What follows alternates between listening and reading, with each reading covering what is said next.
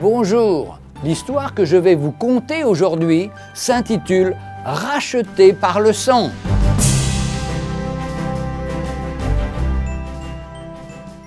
Au XIXe siècle, en Afrique, un chef païen avait condamné à mort un esclave pour une légère offense.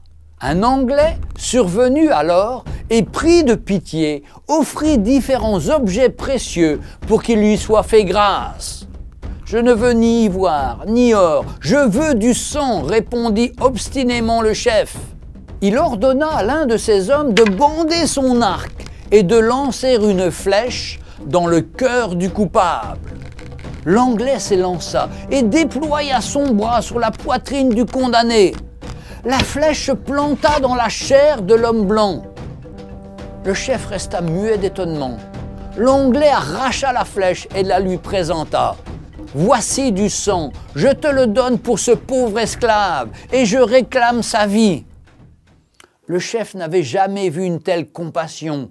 Bouleversé, il s'écria Oui, homme blanc, tu l'as racheté, il est à toi.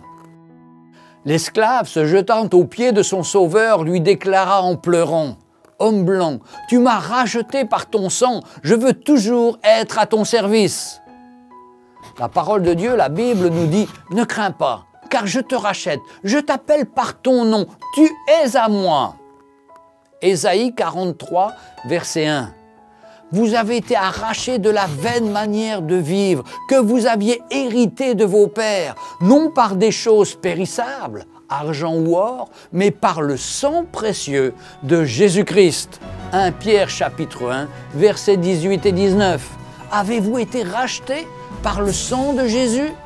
Lui seul nous donne la vraie liberté.